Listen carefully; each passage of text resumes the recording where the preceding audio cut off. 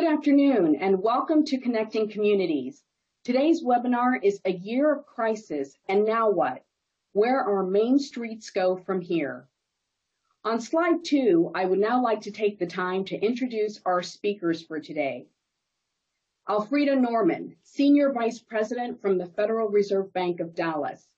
Suzanne Anarde, CEO of Rural Community Assistance Corporation. Elmy Bermejo, owner of Tommy's Mexican Restaurant. John Chin, Executive Director at Philadelphia Chinatown Development Corporation. Gary Woods, former chairman of the Oklahoma City Black Chamber of Commerce. And I'm Matuschka Lindo Briggs, Director of Special Projects and Strategic Support for the Community Development Department at the Federal Reserve Bank of St. Louis. And I will serve as your moderator for our session today. Let's move to slide three, where we can take care of a few housekeeping items before we get started. So for the best webinar experience, we recommend you use the web stream to consume this live video event through your computer speakers. If you have technical issues, you're welcome to dial into the phone number posted on the player page, but the video will not sync perfectly with the phone audio. This session will be recorded and the presentation will be available on our Connecting Communities website. Also, in connection with the session, you can find a variety of additional resources on today's topic available at www.fedcommunities.org. We will be taking audience questions during the event and we'd love to hear from you. To submit a question, use the Ask Question button located on the webinar player page, or you can email us at communities at stls.frb.org. As we move to slide four, I need to go over our legal notice and disclaimer since this is a Fed webinar which is that the opinions and statements expressed in this presentation are those of the speakers and are intended only for informational purposes.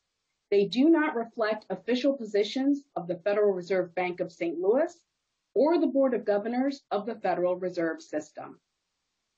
And finally, our mission on slide five. The mission of the Federal Reserve's community development function is to promote economic growth and financial stability for low to moderate income individuals and communities. You can look at the map to see where your community development team is located.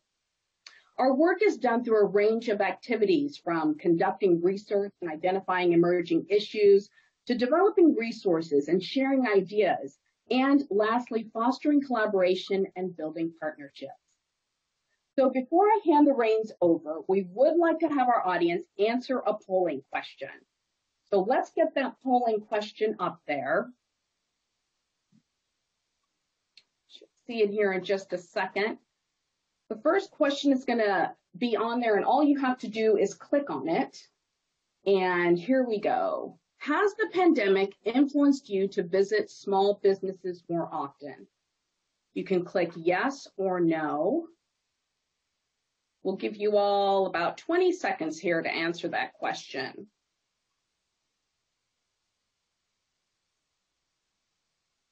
All righty. I think we have quite a bit coming in here. Yes or no, and then don't forget to hit submit as well.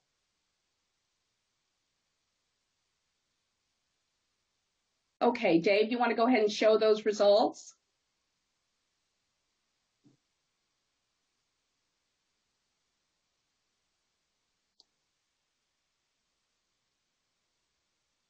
Wow.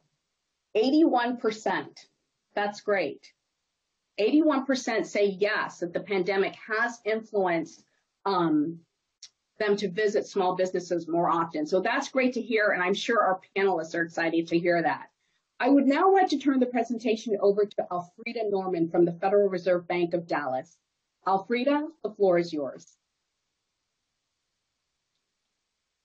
Great. Thank you, Matuschka. Happy to be part of the Connecting Communities event. At the Dallas Fed, I have responsibilities for the bank's communications and public outreach. This includes our community development function. The community development function plays an integral role, as Matuschka just said, in promoting economic growth and financial stability for low and moderate income communities and individuals. CD staff conduct research, share information and resources, and work with community partners to address economic challenges and opportunities. The Fed is engaged in this work because an inclusive economy is good for the nation. We have stable communities. If we have stable communities, we'll have stable regions and a more robust economy overall. We know most folks, including community development professionals, are unaware of the Dallas Fed or the Dallas Fed or the Fed's, the 12 reserve banks work in underserved communities across the nation. So we've launched our community, our Fed Communities initiative to amplify this work and to give professionals engaged in any facet of community development easy access to the Fed's research, data, tools, and expertise. You can find out more at fedcommunities.org. Explore what's there, meet some of our experts, and sign up to see what comes next. In fact, our stories of resiliency on fedcommunities.org is what led us to our event today. We can all likely remember the specific date a year ago when life changed in a dramatic fashion. You began working remotely, or you had to work with personal protective equipment to order in order to be safe. Your service organization saw requests for help skyrocket. Your kid's school began doing remote learning. Toilet paper was rationed by grocery stores everyone began wearing masks and life as we knew it was altered in ways that no one imagined. Along these uh, challenges um, came devastating life, health, and economic impacts um, on people across across the world. Here in the United States, we saw a disproportionately larger impact on Black and Hispanic people, a higher death toll from COVID-19, greater exposure to the disease through public facing essential service roles, including hospital, transit, and food production professions. And more jobs were lost among lower paying service roles, roles which are historically filled by Black, Brown, and immigrant workers. The pan- pandemic also wrought life altering impacts on minority owned small businesses. We all know this progression from the pandemic's first six months in the United States Non-essential businesses were forced to close their doors. Not long after, many were allowed to reopen under strict new operating requirements, requirements that could prove very costly to business owners. In some states, these businesses were forced to shutter a second time. Many small businesses never reopened. Among Black and small business, small business owners, 40% closed their doors for good. Last fall, the Fed conducted its annual small business credit survey. This survey gathers input from small business owners across the United States on their experiences accessing credit. A new report based on this data comes out April 15th with findings on firms owned by people of color. Among other key findings, the researchers identified these takeaways. Firms owned by people of color, both small employer firms and sole proprietors, were most likely to be to experience operational and financial challenges stemming from the pandemic.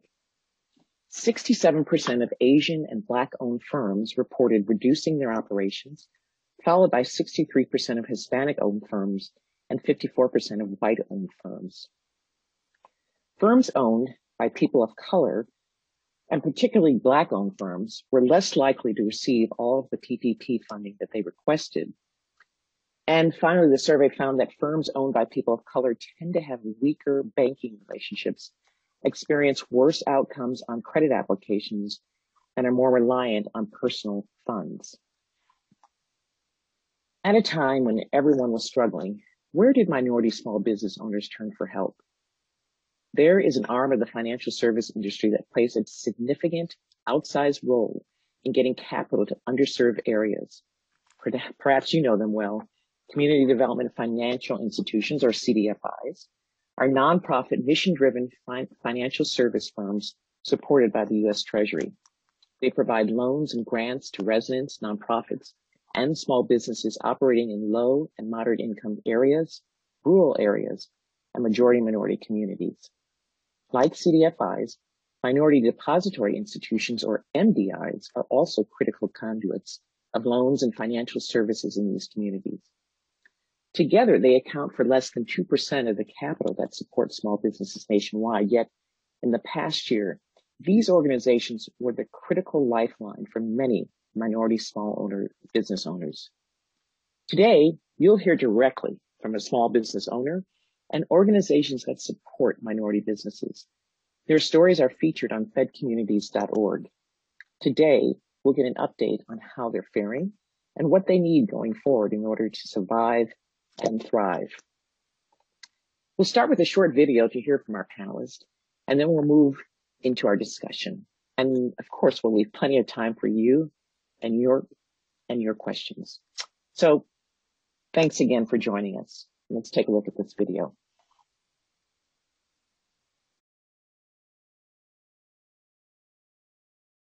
I was watching the news that evening, uh, and they announced that the Sacramento Kings game had been stopped. I knew at that moment that COVID would be life-altering for our our communities, nation, and world.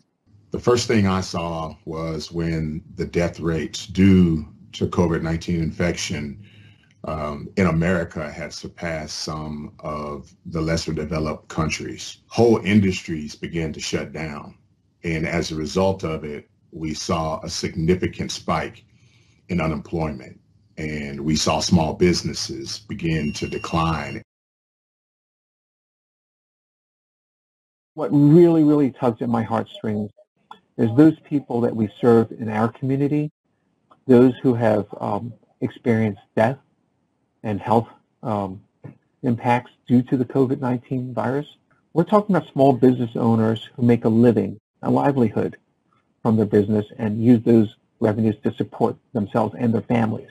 Being able to see how communities have suffered, also recognizing and seeing that there still are some issues with institutional racism. Rural and Native communities are often late to experience economic and health crises when there's a disaster or when there's obviously a pandemic. They also face major challenges and hurdles for recovery, and it often takes longer. There will be less face-to-face, although we know we have to go back to face-to-face services. It will be a blend of face-to-face and virtual services. It has forced us to uh, become more tech savvy. But most importantly, uh, the impact is going to be in economics the economics of people's lives. The pandemic has revealed to a lot of small business owners like myself and also small business owners that I work with uh, in my role with the chamber, the need for innovation, the need for diversity in terms of delivery of services.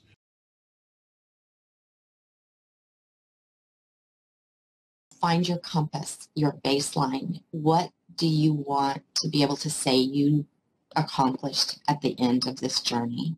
Be flexible. Things are going to ebb and flow. Things open, they close. Best defense is a good offense. Don't wait for trouble to travel the whole way. No playbook, no operating manual can prepare you for such an event. We have to rely on our gut instincts. We have to rely on our experience to guide us through this and be an organization that's here to serve our constituents in the best way that we can. Let's meet our panelists. Let's start with you, Suzanne. Suzanne Anarde, if you could turn your camera on. Suzanne is the CEO of Rural Community Assistance Corporation, a CDFI based in West Sacramento, California. During the pandemic, the Rural Community Assistance Corporation was a lifeline for small business owners across 13 Western states. So Suzanne, I wonder if you could tell us a little bit more about your work. Our yeah, now we can hear you. yeah, sorry about that. Um, RCAC is uh, a regional CDFI. We serve the rural West, 13 Western states, including Alaska and Hawaii. Uh, we are a training and technical assistance organization. Uh, we do water and wastewater in small rural communities. We have a building rural economies model. We also are um, very involved in housing And then we have our core CDFI lending uh, arm. We have about 190 million in our portfolio of CDFI loans. Um, you know, during the pandemic, um, we we are a training organization, so we immediately pivoted to uh, virtual trainings. We do nearly 500 of those a year, uh, which was a, a, a, big pivot for us, but which also increased our reach, which was interesting. We raised uh, $26.5 million in 0% capital so that we could support a PPP lending program. Uh, we developed foreclosure and eviction prevention trainings, also PPE usage trainings for our small water and wastewater operators. Um, and then we also developed uh, a training curriculum for PPP borrowers so that they could maximize the forgiveness on their PPP loans. So the instant they got a loan, they also got training on how to maximize that. Thank you, Suzanne. I now understand what it means to be a lifeline to many, many organizations in your, your part of the country. Thanks so much. Um, next, I'm going to ask for Elmy, if you could turn your camera on. Elmy, Bermejo is the owner of Tommy's Mexican restaurant based in San Francisco. Elmy, tell us about your restaurant and how were you impacted during COVID? Thank you, Alfreda, for this opportunity. Tommy's Mexican restaurant is located in San Francisco and is family owned for the last, my parents started it 55 years. And to be clear, my mom is the technical owner of Tommy's. We all work for her. Um, she's 86 uh, years uh, young and still going strong. And it is a restaurant that is not in a typical area where you would think most Mexican restaurants open and operate because uh, most people would say, well, how come you're not in the Mission District in San Francisco? And my dad had this saying, he goes, why am I going to sell tacos to Mexicans? I want to explore new markets. So we're in an area with our Russian neighbors, our Asian Pacific Islander neighbors, uh, teaching the world about tequila. And so we are the recognized for our Tommy's Margarita and the restaurant has gotten some awards uh, for the bar, for the tequila that was developed, uh, the, rather the margarita. We have very many loyal customers and we're also a neighborhood place where lots of people come with their families. People have come, you know, when they were dating, now they're bringing their kids, now they're mm-hmm. bringing their friends. So it's a sense of community. And when the pandemic hit, it was like shutting your your community center down in a way because a lot of people would just come there. Just we we do know most people's names. We know their stories. And that's what a neighborhood place is that also has a global following and as a result of that you know we had to cut hours we had to all of a sudden you went from being in the hospitality industry to saying to people stand back six feet apart wear your mask and being more of a police officer person or enforcement individual than more of a hospitality. And I see those changes um, that are happening. And so that impacted us. Our sales went, you know, plummeted. We generally were doing on a slow day, maybe three, $3,500 a day to 7,000 or more. Cinco de Mayo is our big day. And of course, we didn't have that. And it went to some days $335 a day. So you mm-hmm. had to figure out what are you going to do to stay afloat? And how are you going to worry about the people who work there who have families to feed as well? So. Wow.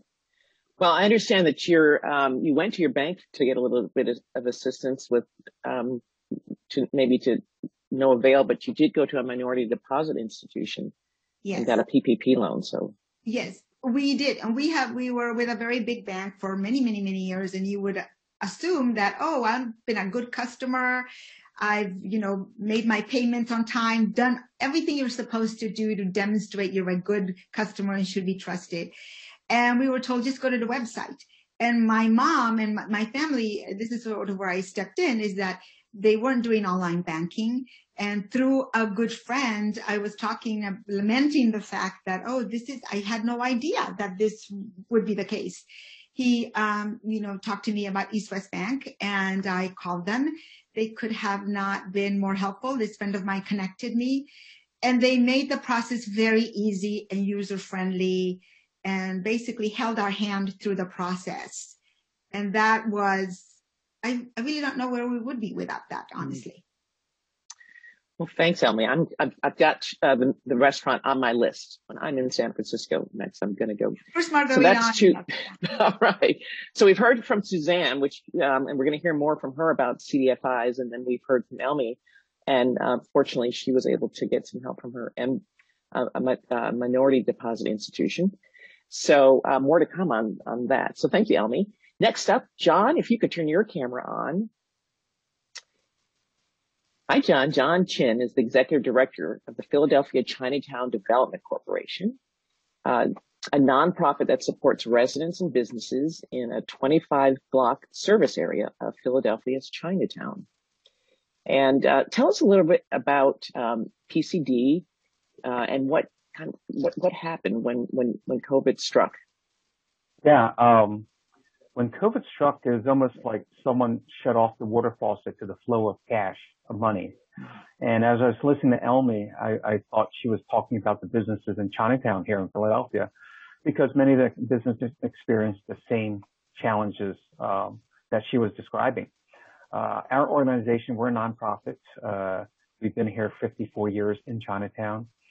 Uh, I would say that most of our work focus and, uh, on serving residents and their social service issues, more than 50%. But the day the uh, government shutdown occurred in March of 2020, we found ourselves our, ourselves shut down. So how would we serve the commercial core and the businesses and the residents in our community, which numbers about 8,000 residents and over 300 businesses in our Chinatown? Well, we quickly realized that we had to pivot our operations.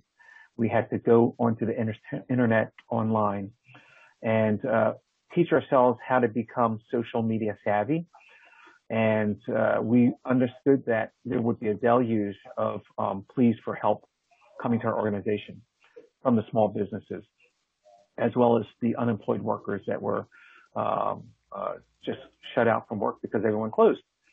What we did is we created workshops online. Uh, our, our strategy was let's give information to those who we think can help themselves. Basically, a do-it-yourself approach.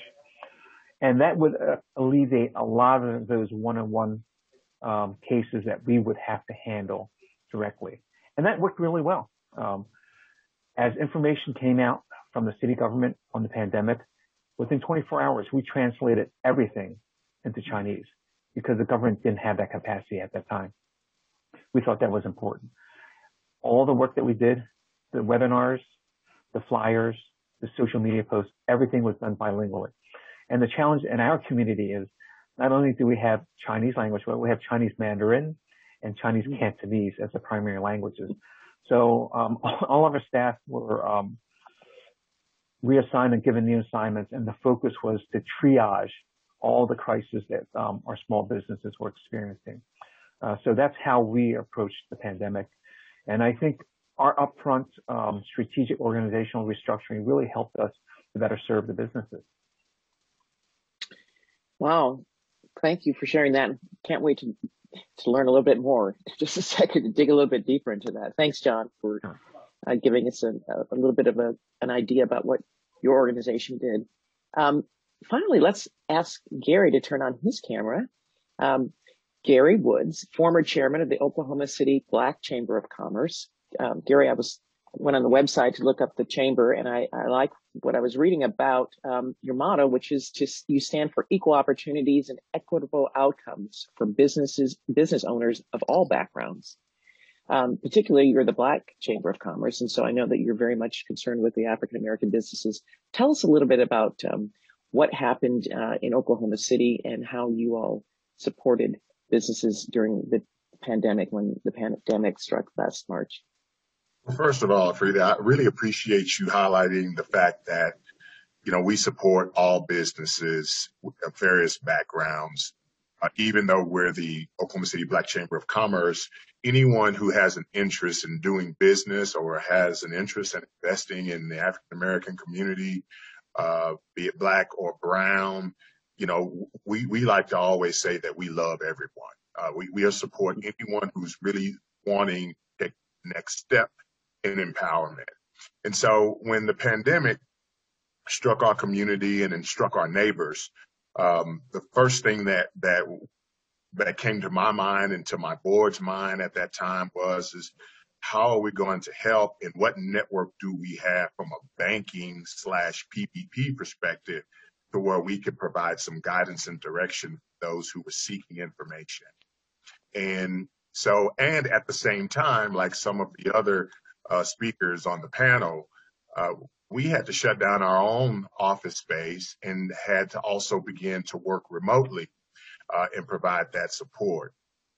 And so we immediately began developing a network of lenders who were participating in the program. Needless to say, there were also a number of lenders who had, had not done anything in support of the PPP program. It, and it almost seemed as if they didn't have any interest, but we immediately began to start talking to our membership as well as those who were seeking information about thinking differently, doing things differently as it relates to their business, as it relates to diversifying, and then also to reevaluating their corporate structure in terms of, of how they set up or establish their business, as well as banking relationships.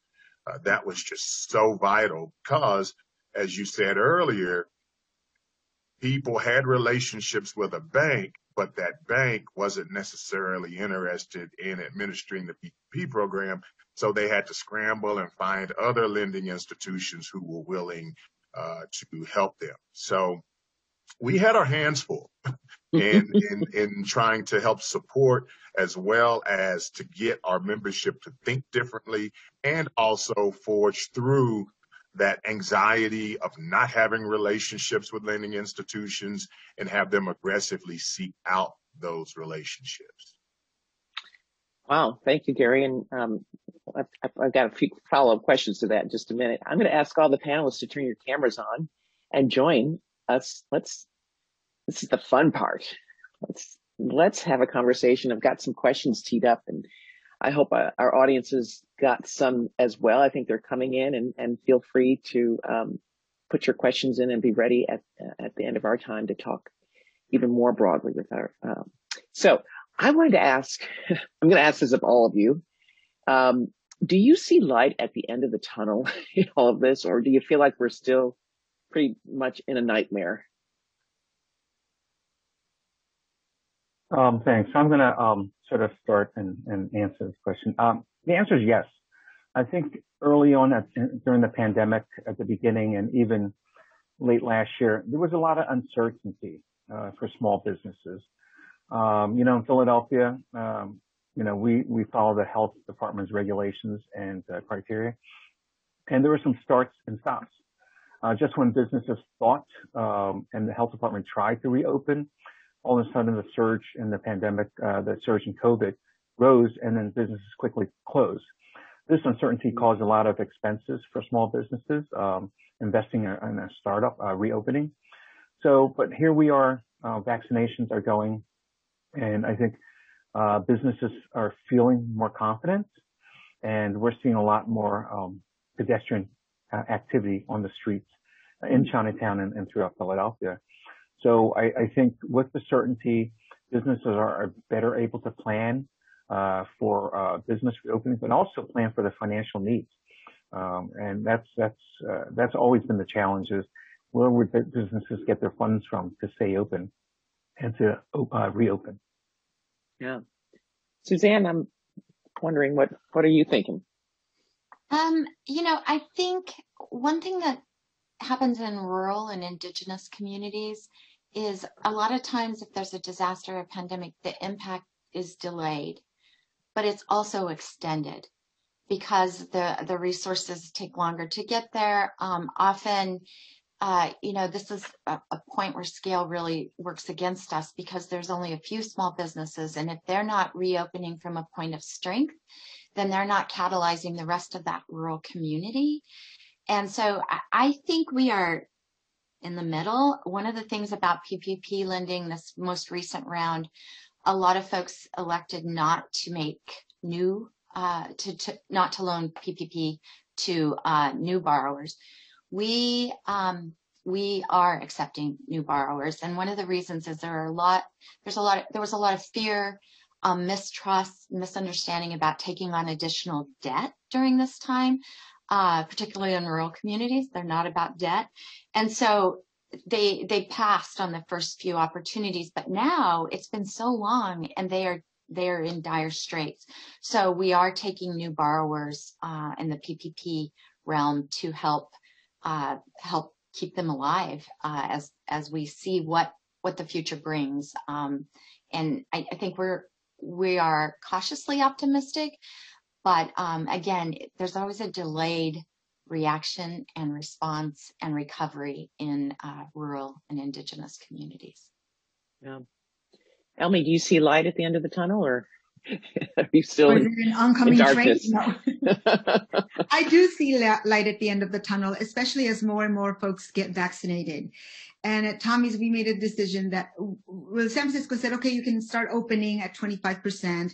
And we waited, we just opened 25% last night because we wanted certainly everybody in the staff to be vaccinated because a lot of people you only see what you see in your own bubble and people would walk in i'm vaccinated and walk in without a mask. So again we're saying well you have been but the, not everybody has been. So i do see that that that it's at, uh, there's light at the end of the tunnel. I think we still have to be cautiously optimistic. I know a, a restaurant that is a, a, few blocks from Tommy's where they're going to wait 60 days. They said, we are don't want it to be closed down again in the up and down in uh, of businesses. So people are watching and small businesses were t- talking to each other about how it's going for them and sort of keeping each other, uh, helping each other out about what we see and how we continue to help one another. But I think that the more, if more people get vaccinated and understand that they have to continue to wear a mask and be a little bit practice physical distancing and be a little bit mindful of your neighbor. I think that we, you know, the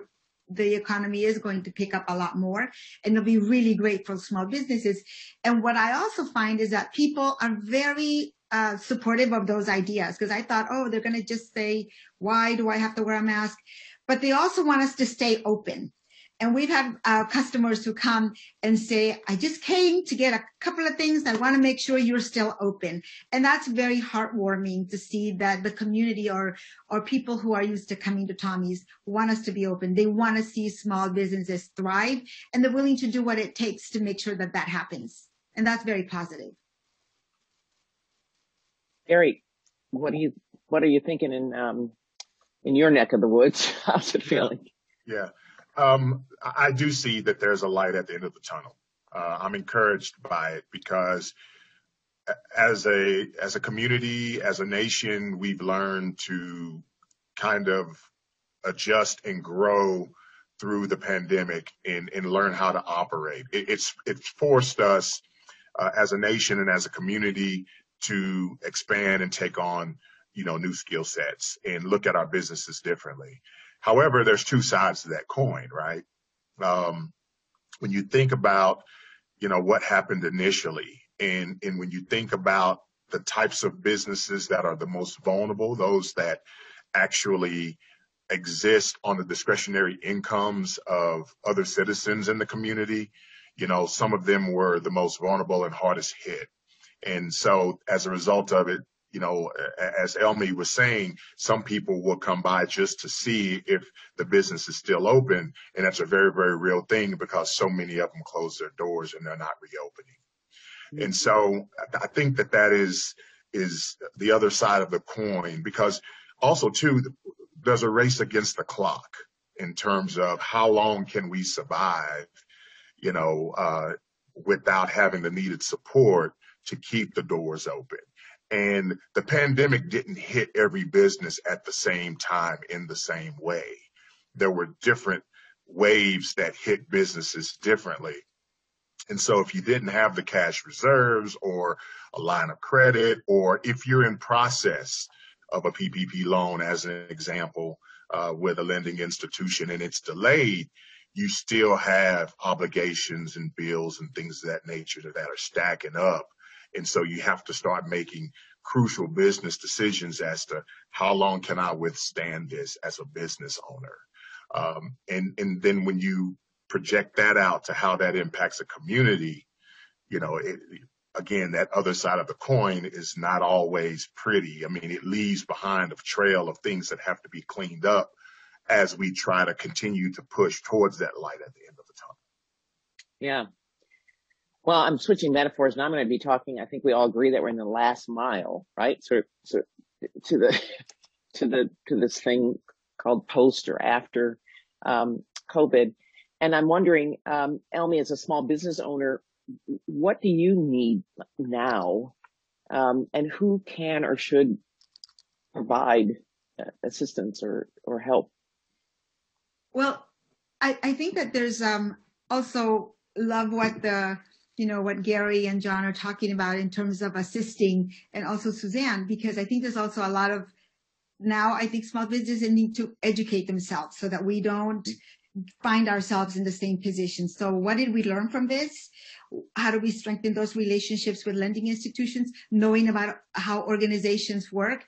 And I, when my dad started Tommy's and there was a chamber of commerce, he was I found out he was one of the founders of the Greater Geary Merchants Association. And I said he was. He wasn't really a joiner, but they said that he said, you need help? I'll give you a little money, but I don't attend meetings. I got to run my business. So I think we have to balance that. How do we make sure that folks are learning about tools and how to uh, stay um, well relevant in a way and also continue uh, thriving as a small business owner while informing ourselves about other services and other products that can be helpful. And i think also uh, very lucky that in san francisco at tommy's we have very loyal folks loyal, loyal followers. And that that has been very helpful. And i think also the patience that you need to move forward about how do we navigate this pandemic because it hasn't really gone away. And so it's balancing all of these different things to continue to move forward and to thrive. Hmm. Good advice there. I'm wondering, Gary, John, and Suzanne, from your vantage point, um, what do small businesses and entrepreneurs need now, and um, and and who and should or can provide it? So one of the things that we we incorporated over this period of time is we have a building rural economies for entrepreneurs and small communities, but we added business coaching. And the business coaching role has really blossomed. Um, not only are, are, we working with our entrepreneurs that we were working with previously, but the loan fund is accessing coaching for our, our, our borrowers through our CDFI. And we also um, developed a what we call the relief fund. It's it's a grant funded reemerging loan fund that is can be creative and patient capital to help folks reemerge into their markets from a from a place of strength versus weak. And so with that comes business coaching. It's it's you know an average of twenty five thousand dollars of lending of loan money coupled with the business coaching. We find that a lot of business owners and entrepreneurs, um, much like my colleagues here have talked about the open close, spend money, the the bills keep coming and and you know everything's delayed or not coming revenues not coming in so uh, we supply two we add two uh, coaching sessions so that our borrowers for that fund and those business owners can think long term can think past the alligators, right, that are right at their door, but think, how can I best invest these resources to help me sustain and and reemerge um, from the crisis? So I think that's a really important thing to provide um, to. They are traumatized. It's it's been it's been a really difficult road for them. So providing them with that guidance, I think, is critical. Um, and I also before I I also think we have to start thinking about that lost revenue is not coming back. So providing grants and you know blends of funding has to happen and we need partners to do that foundations have been great you know some of the banks have been great but at the end of the day that revenue is never coming back and that hole has gotten deeper and deeper so thinking about how we can support them in ways that are not traditional lending is really important in my mind. Yeah. Hey, Alfreda, can I add to Suzanne's comments? Please. You got me, you know, you, you hit on something that we spent a lot of time talking about at the chamber when we're talking about innovation or, or being more strategic in terms of your thinking. Business coaching is is so vitally important, uh, particularly in the African American community, because oftentimes our small businesses are a byproduct of extra income to support a family.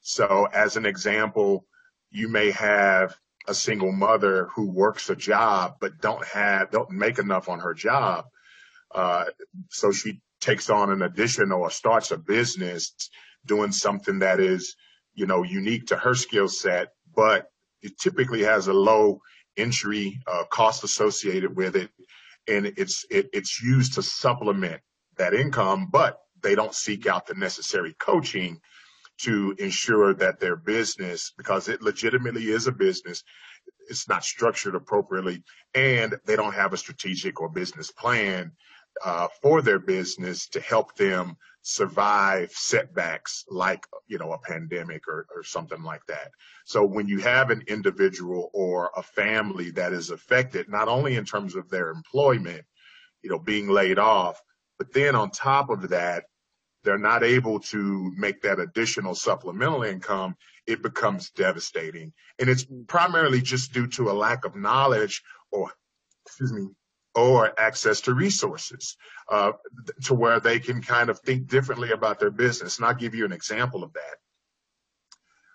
African American restaurants in the African American community, oftentimes they start out with typically without a bank loan. They use their own income to supplement their business venture. They open up their business. However, they don't think about the fact that, you know, problems will come and you definitely don't think about a pandemic that's going to last a year plus or even longer. So things such as perhaps expanding into like mobile meal type service, a, a drive up or drive through, being able to leverage the internet to be able to place orders because so many uh, of the restaurants were closed due to uh, either some sort of executive order or under an order from our governor. And so as a result, they just kind of sat there. And in addition to that, they had to lay off some employees. So how does that business exist through that level of hardship? They have to reinvent themselves. And so, yeah. or they have to leverage of various um, different diverse ways of servicing, whether it be connecting with a DoorDash type service or whether it be a mobile food truck where people can walk up so that they don't have to open up, you know, the, the doors to their restaurant and, and, and put people at risk. And so just this, that sort of strategic thinking um, is going to be vitally important. And then also too, while they were operating seeking out a relationship with a lending institution that has a vested interest in supporting small businesses, as opposed to just going with the big name lending institutions who oftentimes would add to the frustration and the anxiety because let's just face it, most of businesses in African American community you know, they start without a loan. There's no established credit with the lending institution. They do it, it's a bootstrap thing for most of these small businesses. And so, how can you take someone who doesn't have a relationship with an institution, then all of a sudden tell them, go get a partnership with an institution? That's not even culturally yeah. acceptable. Yeah. Well, it's so true. So many of these things that you were discussing are were problems before the pandemic, right? right. And the pandemic has exasperated a bit, but it also creates a sense of urgency to know that you, you know, now like you really have to address some of these things because yeah. we don't know what's around the corner. Um, John, I'm wondering what you're thinking about kind of what your business, I like, you know, you residents, I mean, individuals and businesses, when it comes to small businesses, there's a fine line between um, my family and my business. Like, you know, it's, it's, sometimes it blurs, right? Like, you know, you know that. Um, yeah. So if your business is struggling, you know, obviously it's, it really hits kind of your, your kitchen table, your dining room table, kind of, you know, or, or what's happening. So John, I'm just wondering what, what reflections might you have on what, what, what are the needs now for small business uh, folks in Philadelphia? Yeah, um, all the comments that I heard are spot on. And uh, what you just mentioned, so uh, my parents ran a, a, Chinese restaurant in Chinatown. So at the age of seven, I found myself working there. And you're pretty right. The family, the small business is the family business, and that's the, the revenue stream that's going to support our family. And um, this isn't a, a, a, finger pointing, but it's just a fact, a matter of fact that many of the small businesses were caught with their pants down because what I mean by that is when the economy is good, um, a business and operations does not have to run efficiently, right? But who could have even predicted this year-long economic um, devastating devastation that we're all experiencing? And in today's environment, um, Gary just mentioned this. We have to, our businesses have to figure out the social media marketing. Uh, their customer uh, are no longer cash-only businesses where people walk by to pick up their order or come in and dine. They have to be competing uh, on the internet regionally. Okay, uh, so that's where the uh, business um, uh, support and, and, technical assistance is really important because our small businesses have to learn how to operate on the internet um, because I think the days of 100% um, passerby business is gone. And when I talk about operations and efficiency, I was talking to a restaurant business owner. Uh, he is now, he used to open 4 p.m. for a dining hour till 4 a.m. That business for him is gone. He now opens for the lunch hour, 11 a.m. to 10 p.m. So he has a very short period of time. He still has to pay a full kitchen staff and he still has to pay front of the house workers. Now, his food costs rose from 33% of his sales to 50%. Those delivery services that we all love to use, right? They can take anywhere from 15 to 30% of his sales. Mm. So he's got what 50, 45 to 50% of the remaining cash that he has to pay for everything else. There's no luxury and there's no, uh, there's no luxury for mistakes for these small businesses. So they need a lot of coaching in terms of how to better operate, how to market on, on social media. And uh, number three, um, really understand their customer and their market because it's, it's really changed today. Yeah. Well, man, you all just, that was for all listening. that was a lot of, a lot of good advice. I'm going to switch gears a little bit. Um, because not only were we in the midst of a, global pandemic, but we had some things happening from a social standpoint happening in our communities as well. And I'm wondering, this question is to all of you, how do you feel your communities are acknowledging sort of this significant inequality that, or inequity that is um, in America? And if so, can you give some specific examples? I'll, I'll jump in. Um, I can tell you that during the initial rollout of the Paycheck Protection Program, um, we definitely saw a difference in terms of how um, certain businesses were being handled compared to others. Um, the the minority-owned businesses number one, because they didn't necessarily have an established banking relationship, they were already on the outside. But also, when you look at minority owned businesses, the majority of them have a tendency to be sole proprietors. Uh, and so, as a part of the Paycheck Protection Program, there was a the first phase. They couldn't even apply for the the PPP program or during that first week. And that was problematic because oftentimes those businesses are most vulnerable and they need the help the most. But at the same time, we had some lending institutions who were basically taking the approach of, hey, let's look at our customer base. And it was almost a too big to fail kind of strategy. Um, you know, our big businesses, um, you know, with some of our larger banks, they were proactive in contacting and interacting with the larger corporations and, and getting them situated and set up. And in some is, in issues, I know in Oklahoma, we saw that there were significant funds being lended to some larger corporations to the tune of five, six, seven hundred thousand dollars, even as high as a million dollars when a small business owner couldn't get ten thousand. Uh, let alone even get in line to get 10,000. So that one week delay in, in having the ability to apply was problematic because again, you know, we're talking about people trying to survive a couple of months. I mean, some of these people were struggling, you know, almost a week. And then of course you're talking about the application process on top of that. So that sort of inequality was problematic.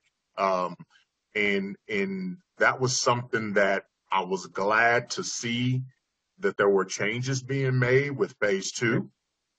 Um, and so that's just a byproduct of the fact that number one, you know, we were learning, but in that phase one, it definitely appeared that there was more concern about Wall Street than Main Street. Hmm. And Thanks, that to me just stood out. I mean, like just, just quickly, especially when you take in consideration that, you know, 99 percent of small businesses are going to be these small mom and pop shops. And we were losing them, you know, just in a matter of months, as many as more than 400,000 in like the first 60 days. You know, they were, they were shutting down. And so that was concerning for me. And it disproportionately affected black and brown businesses even more so. Yeah. Thanks for sharing that, Gary. I wanted to share what we were doing in San Francisco when it came to the social fabric, especially in the Latino community. And early on, a group of folks said, no one's going to help us. Uh, not with social things, not with, we have to do it ourselves. So the Latino Task Force on COVID-19 was established and 30 CBOs, Unidos en Salud, Together in Health or United in, in, and for Health. And these folks, and I'm proud to be a member of that because it was a lot of community folks from small business owners, uh, service providers came together to say, what does the community need? Food. So there's a food distribution testing. There's a testing site. In fact, the New York Times did an article about this.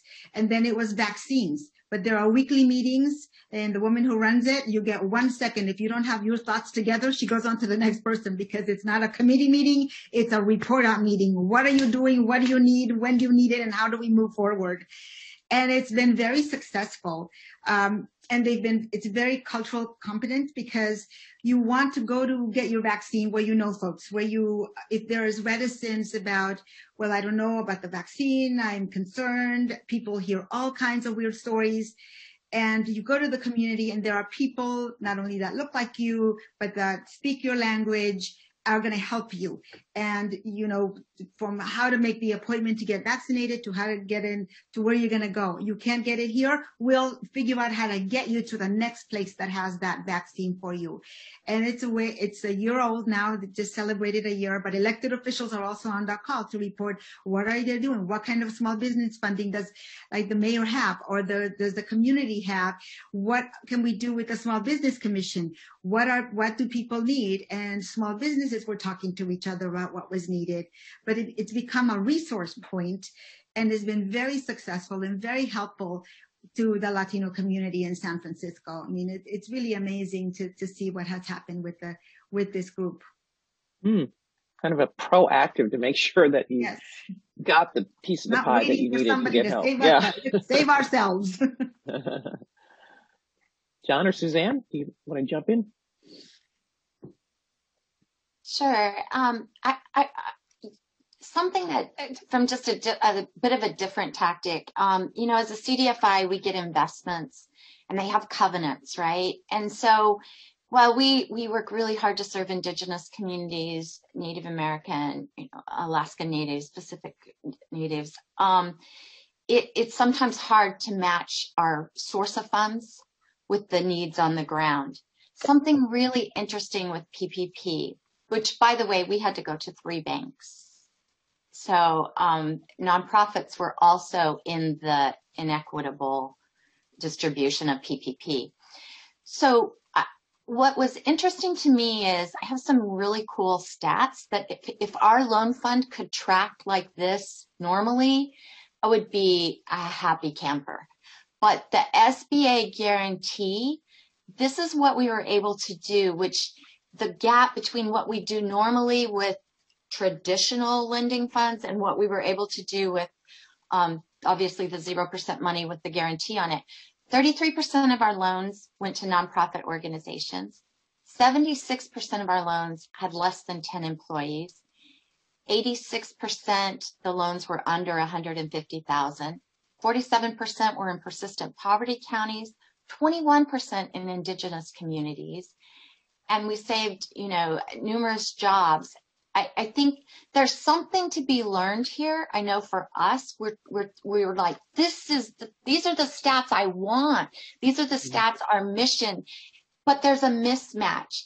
And so as we think about, um, cultural competency, as Elmy talked about in our lending, um, there are different things, and I think everybody's mentioned it. There are different factors that have to be considered um, with small businesses, uh, black, brown, whatever, rural. I put them in that category too.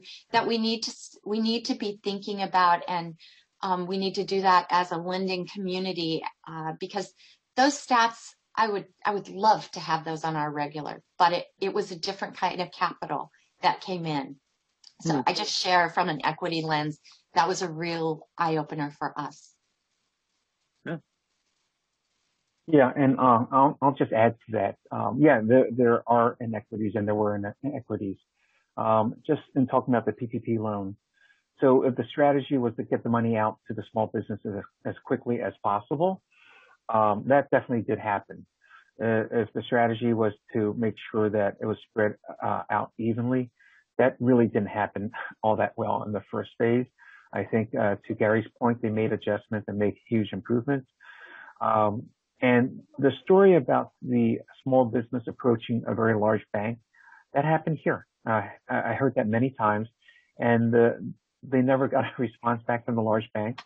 But we have uh, great community banks here in Chinatown, and even though the business was not a customer of the community bank, the community bank turned the loan around in less than three days. Okay, so so that's a success story, and that is uh, where people and businesses and banks step in uh, because there is an inequity. Uh, the other inequity that we saw is that many small businesses, you know what? Many of the loans, the PPP loans, were about four thousand dollars. Not a lot of money, um, but four thousand dollars is maybe a lot of money for that small business. So um, we've seen inequities in various phases of the pandemic, and the PPP loan is just is just one one type of inequity. Yep. Well, um, you know, some good nuggets from what you all said about sort of this post recovery, uh, post COVID recovery and thinking about equitable recovery. And I think there's lessons learned in the distribution in PPP, right? So that there are things that we learned in that process. Al, um, like you said, Suzanne. Mm-hmm. Um, you know, when we were talking about you know, the, the, like for instance, you know, nonprofits, they were not uh, eligible in phase one, but they were able to be, they were eligible in phase two. The other group that is uh, one that, that I deal with all the time would be those individuals because of uh, mistakes in the past. If they were a, a convicted felon, they were also ineligible for, you know, the PPP program. And that was something of a concern because when you think about, you know, the incarceration rates and things of that nature and people come out of uh, prison or jail, many times uh, they cop a plea, so they never really even go to trial or court or anything. They're just trying their best to get out of this that bad situation, you know. And and they can't get a job, so they start a business and mm-hmm. they start a business and they've paid their debt to society and they're out there running a good business, turning over a new leaf, trying to do the right thing. And then when it's time for assistance, they don't qualify because of, of a mistake in the past. and so I think I heard someone say that it is so vitally important that when we roll out programs like this, that we talk to Main Street and go into certain communities to try to find out. I think it was Suzanne, and I appreciate those comments, Suzanne, that you need to understand what does the small business economy in a particular area or in some of these metropolitan areas really look like in terms of who the business owners are, the types of backgrounds and what they're doing. They're, they're doing good. They're running a good business. They're doing the right thing. And a lot of them are employing people, you know, and, and maybe it's a, a strategic approach to how they structure their business that could help them in the long run, or maybe we could have some considerations in how we roll out programs or in the bylaws of the program or whatever, guidance, guidance documents, whatever, that to where we don't exclude people who are really, really doing, you know, what they're supposed to be doing. At the end of the day, they're tax paying, you know, business owners just like everyone else. The only difference is they made a mistake. Yeah. Good. Great point. Well, gosh, I could go on with lots more questions, but I think we um, we've got an audience that I'm sure had some questions. And so before we switch to our Q and A, I think um, Matuschka, we're going to go to some polling questions. That is right. Thank you, Alfreda. Okay, let's um, turn to some polling questions. We have two more that we want to ask, and then we're going to get to Q&A. Remember, uh, feel free to email us or use the Ask a Question um, to send in some questions. So the first polling question, have you lost a favorite local business to COVID? Yes or no? Please just go ahead and click on your screen and then don't forget to hit submit. I'm going to give you about 10 more seconds here to fill that out.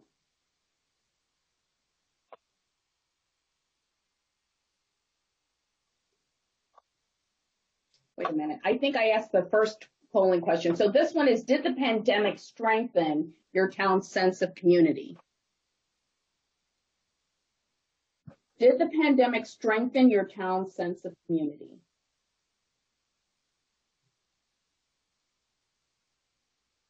Okay, let's go ahead and have the results. 80% said yes, that the pandemic did strengthen their sounds, their uh, town's sense of community you know, that's kind of a positive way to look at all of this, wouldn't you say, Alfreda? Absolutely. All righty, let's go ahead and take that question down and go back to our first polling question that I was responding to, and that will be, have you lost a favorite local business to COVID? Yes or no?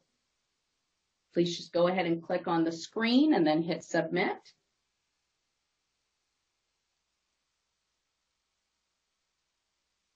You know, I know here um, I'm based out of St. Louis, and we definitely tried so hard to keep up with the carryout to make sure that we could keep um, some of our very favorite businesses here up and going.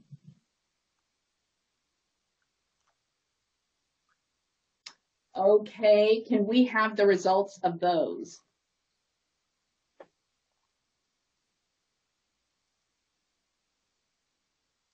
Seventy-three percent said yes. They did lose one of their favorite local businesses, so um, that's disheartening for sure. Thank you so much for all of you participating in our polls. It just helps us, helps the panelists, helps all of us, even as the audience, get an idea of what we're working with, what we've lost, where we need to go from here. So now let's go to questions. As a reminder, we are taking questions from our participants today. So we're live with the questions. Please submit them using the Ask a Question uh, panel. You can also email us at communities at stls meet.frb.org. So it looks like all the panelists do have um, their screens on and don't forget to go off mute to answer the questions. And I'm going to go ahead and get started. Um, our first questions are um, not directed to anyone individually, but they're um, they're pretty general. Uh, the first one is, what are some of the creative programs that you see coming out to help vacant retail properties on Main Street? Anybody want to respond to that? And I guess the second part of that would be what the question is they also have, do you anticipate any significant physical changes to buildings where Main Street businesses are located as a result of the pandemic now and in the future in the future. So basically anything related to the interior, exterior of businesses, also streetscape. Know, I'll say for, for Chinatown, the um, the uh, small businesses really have small footprints in the interior. And uh, when the city at one point last fall opened up the opportunity to outdoor dining, uh, the opportunities for our corridor was Main Street was very, very limited. Um, so, um, but there was one business that closed uh, last year, unfortunately. It was a uh, Chinese noodle manufacturing company. Uh, but one of the other businesses in the community saw that as an opportunity so um, what they did was they rented the noodle business, but they didn't want the interior. They wanted the parking lot so that they could open outdoor dining. So they opened up a beer garden in Chinatown for a brief period of time before it got really too cold in Philadelphia. So that was a very creative way to to repurpose a, a business that closed. Anyone else have any thoughts? Okay, let's go to another question. And I think listening to many of you, especially um, Elmy, it makes other entrepreneurs think, okay, where do I go from here? So what is your best advice for starting up a new business at this time? Do your homework. I think that's the best advice. And certainly talking to the folks on this panel, you know, um, and hopefully re-listen to this this uh, program because I think you'll get really great nuggets of information. But do do your homework, and I, I mean, just as an example, a friend of mine said, "I think I'll open a uh, a bar." And I said, location, location, location. I said, because you have to be prepared now in your head to, okay, if things are going well, what if there's a pandemic? Do I need an outdoor garden? Is there a bus shelter right next to where I want to be? So those kinds of practical things where you think, well, I, I have to think about all the logistics. What does it look like inside? Is there a garden? Can I do a garden outside so people could sit down? So whatever business you're in, it is doing your homework beforehand. And, you know, most of us with in family owned business, we just get an idea and we do it.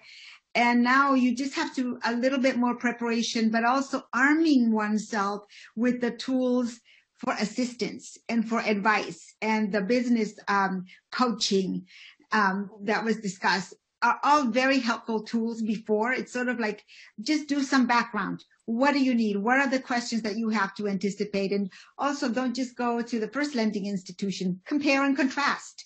You know, what is going to work for you and what you, what kind of investments do you have to and don't think of going big all at once. Sometimes right now, maybe it starts small and see if there's room for expansion as well, just so that you don't get you not discouraged, but some, I think the economy is getting better, but it's going to take a while for us to get to where we were. And we have to be realistic about that. Elmy, you brought up great points there. And Gary, I just saw you open your mic because I think this is something that you touched on as well. Um, you know, how do you not only work with entrepreneurs, but how are you working with small businesses that maybe have never had relationships with financial institutions? How are you getting them to change their mindsets as well as how should entrepreneurs think about this? Was that a question for me? Absolutely. And anybody else who would like to take it. Yeah. So um, the reality is is is this. I think it's it's vitally important to have a, a, relationship with a lending institution. I think it's important to have the relationship with the right one, uh, the one that that basically fits your needs as a small business owner. But I think that's a part of long-term strategy. So I would say that first things first, and adding to what Elmy is saying, um, think about your business. Is it a good time to open up a business? Yeah, it probably is because going to the question uh, before when they were talking about, hey, what opportunities perhaps exist with some actual uh, brick and mortar, uh, uh, uh you know, like structures to move into, you know, because of, of the economic downturn. I mean, there there are owners of a lot of those um, those those restaurants or buildings or whatever, or strip malls, they're looking to make some deals right now because the vacancies are, are killing them. They don't they don't want that vacancy, so they might make you an ideal uh, sort of uh, lease agreement that would be beneficial for you. Also, there are some properties that are being managed or maintained by you know your local city or town, and that there may be some opportunities there as well where they might perhaps you know have you depending upon whether or not you're a nonprofit or whatever, you may have the opportunity to be able to get a property to, to at, at a very, very reduced cost. So those are things that you might want to look into. But also too, when it comes to your business, be strategic and make sure that you have some flexibility in the type of business and how you choose to deploy your business. So I'll give you an example. Uh, in the Oklahoma City Black Chamber of Commerce, we have a chamber partner and, and I'll throw her name out there. It's called, her name was B&B Catering. She had a banquet hall and it was purely a walk-in banquet hall. And when the pandemic happened, then, you know, of course she had to shut down.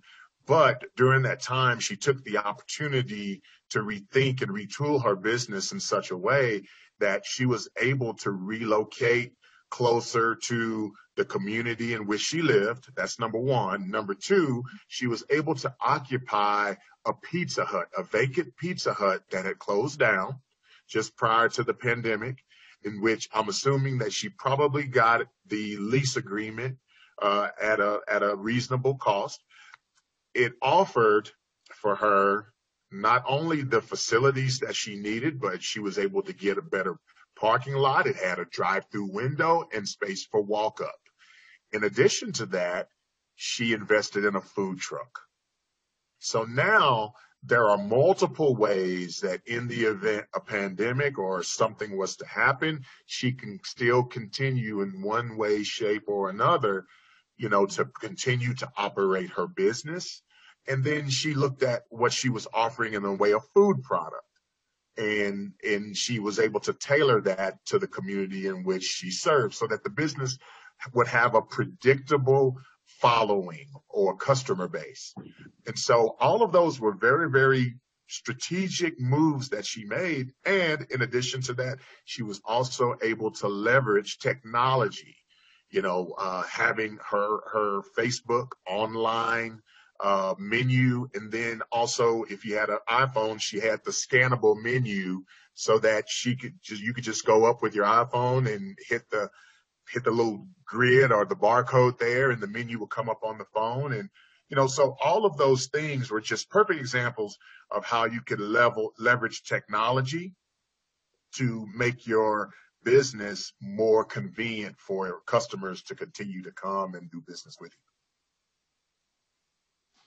Thank you for that, Gary. That was very helpful.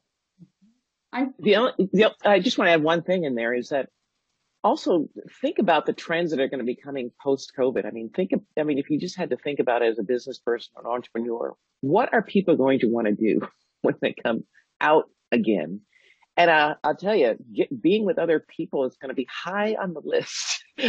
going you know, what creative ways can you have outdoor play where people can play games? I mean, I think there's going to be such a yearning for gathering again. And so what kind of innovation and creative things can you, you know, can you think about when people want to do this again? So anyway, I just throw that out as thinking about future trends. Alfreda, that is such a good point, which also makes me wonder a question that I wanted to ask was, so, you know, after the 2008 recession, it seemed that it took a while for hiring activity to resume. How has hiring been, especially with all the new technology, with the new trends? How quickly are you seeing hiring picking up? in Chinatown, the, the hiring is slow uh, because uh, right now most restaurants are still only doing carry out. So the indoor dining is, is very, very limited. So, and you know, um, Chinatown has its basically own economy. The, the restaurants are, are purchasing from uh, distributors. Distributors are purchasing from manufacturers. So when the when the business volume is not there, uh, and the hiring affects all all aspects of the uh, food industry here in Chinatown. Um, so it's it's very slow. I would agree with that. I just wanted to add that I would agree with that hiring is slow because there's always this concern. You hear about the variants um, and what where it's it's uh, predominant in what communities, and you're just sort of waiting for that other shoe to drop maybe so you're you're cautiously optimistic and you just don't want to invest and then have to let people go and so i think there's a little bit of a wait and see attitude and hopefully this stays the course okay so this next question is from a government official so um, they what would you advise the government to do if we had this situation happen again what could we do better what we did we do a terrible job of?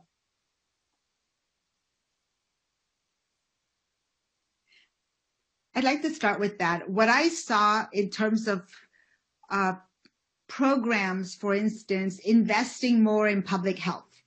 There are no investments in public health, and you see that in different counties in California and how that plays out. That there are many challenges with broadband. I mean, in California, it's like sign up for my turn some counties don't have broadband to do that.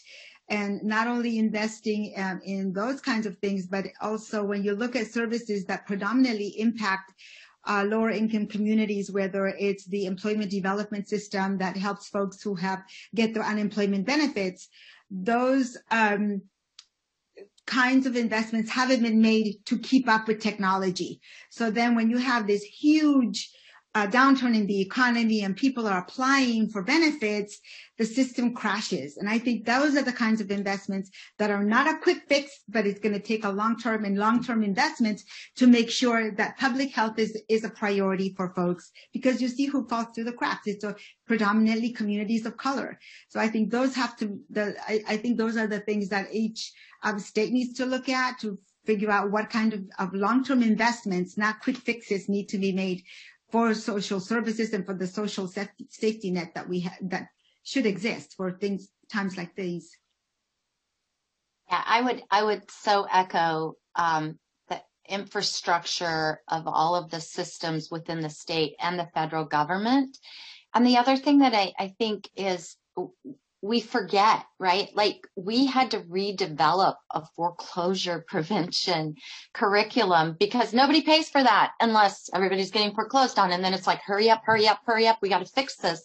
And so thinking about, um, you know, we're, I, I think we're, we're so like, like squirrel. Oh, let's do this. Oh, let's do that. When, when there's this underlying, um, infrastructure that has to be in place for, you know, we have to plan for the good, the bad, and the really ugly, which I think we've been through.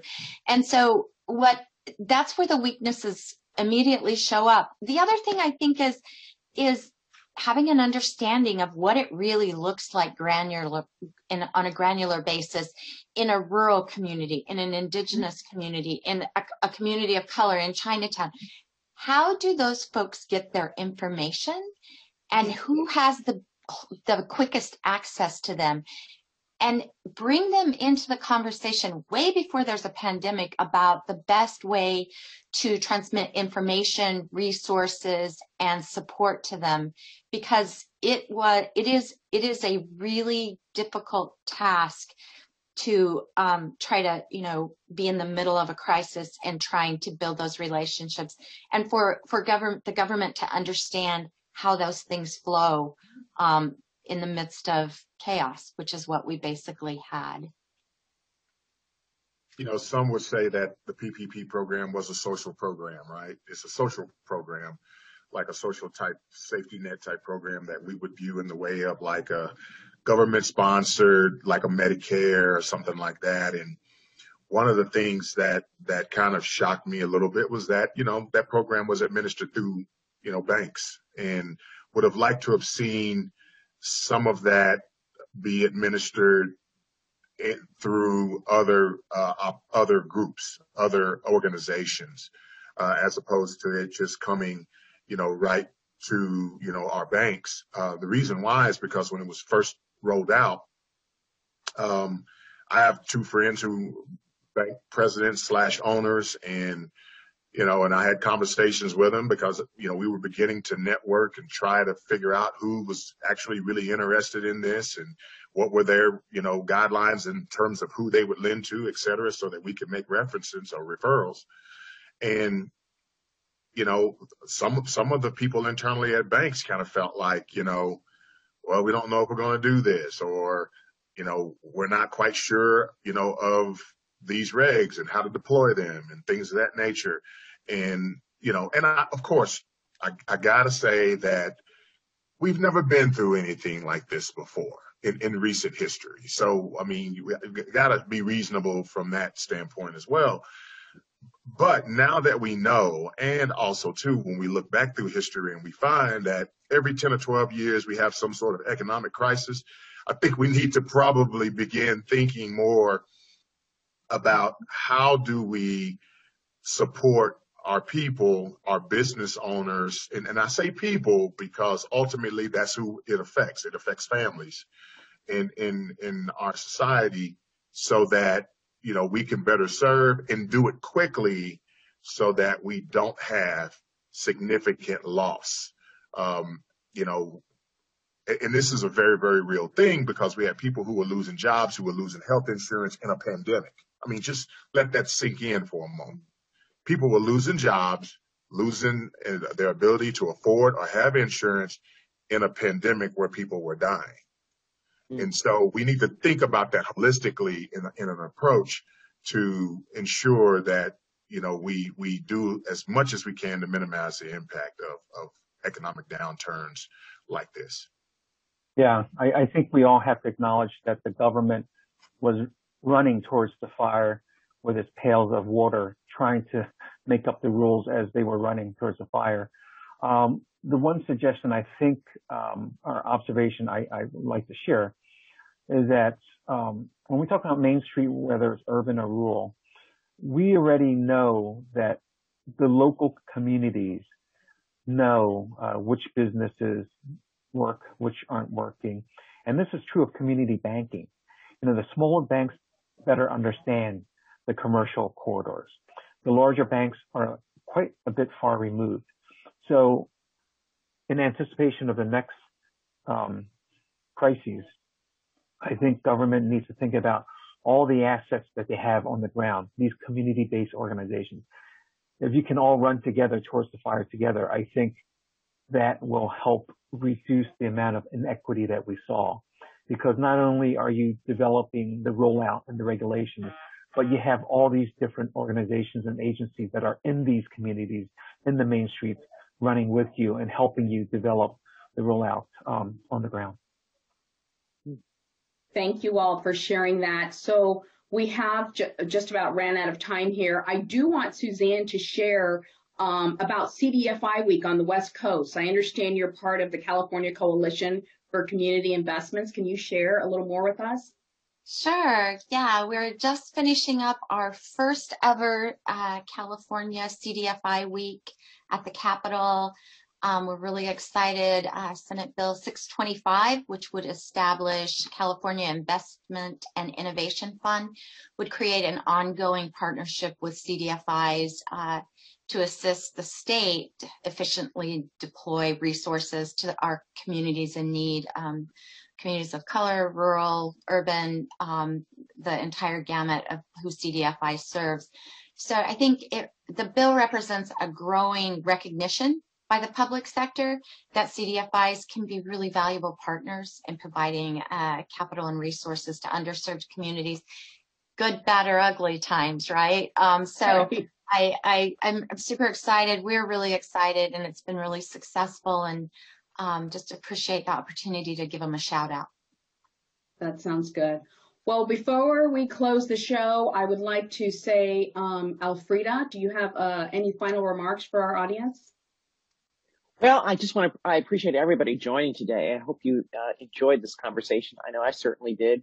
And I really hope that you subscribe to fedcommunities.org to engage with the stories and resources from communities across the country, um, including the stories that we heard here today in, in more detail. If you haven't read those, they're on uh, fedcommunities.org. And also to support, to support small businesses in your community and learn which policies impact the community lenders that provide small businesses with much needed capital. Uh, and finally, tell a colleague about the Fed's work in the communities. Um, and um, I look forward to many more conversations like these in the future. Thank you. So I'd like to thank all of our speakers today for sharing their time and stories with us. I would also like to thank, thank Alfreda for moderating, um, as well as all the participants that joined today um, in and out. We appreciate the time that you had for us and for our discussion on a year of crisis. And now what? where our main streets go from here. I think we got a lot of great information. A few reminders, we will have a recording available with an audio file on the Connecting Communities website and the Fed Communities website. We also welcome ideas for future recordings. We just shared a survey link if you joined us in the webinar, and this same link will be distributed via email in a few minutes. We'd appreciate your feedback about today's session. Well, thank you for joining us. This concludes today's Connecting Communities webinar. Enjoy the rest of the day.